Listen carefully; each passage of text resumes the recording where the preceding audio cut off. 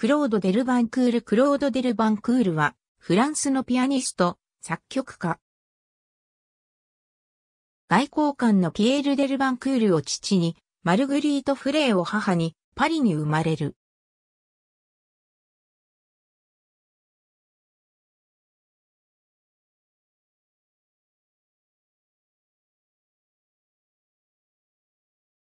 1906年よりパリ音楽院に学び、当初はレオン・ボエルマンに、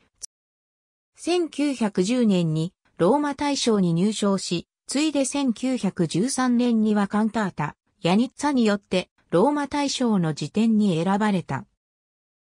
第一次世界大戦の勃発によってローマ留学が打ち切られると徴兵され、1915年に重傷を負った。1919年よりローマ留学を再開させる。1926年にルドビク・パーンの公認オルガニストとしてモンマルトル精神協会に勤めた。1932年にベルサイユ音楽院の院長に任命され、1940年のアンリ・ラボーの辞任に伴い、1941年よりパリ音楽院の院長に就任した。フランス国時代にデルバンクールは、ビシー政権の人種法をパリ音楽院に適用して、ユダヤ系の教授や学生を締め出した。しかし、パリ音楽院学生オーケストラを設立したことにより、長年にわたって60名以上の学生のドイツ行きと強制労働を防いだ。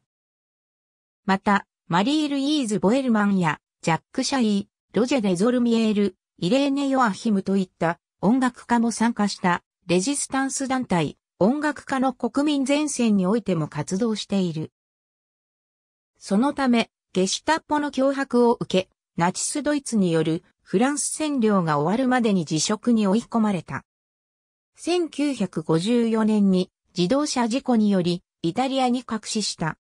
ダムス、ノーマン、クロード・デルバンコート、ムシカルタイムズ95、330シュナッパー、フレンダー、ロー、ラビムジカーレスウェルオキュペーション、ビングティムシエクル、レビュー D イストワール63、142。ありがとうございます。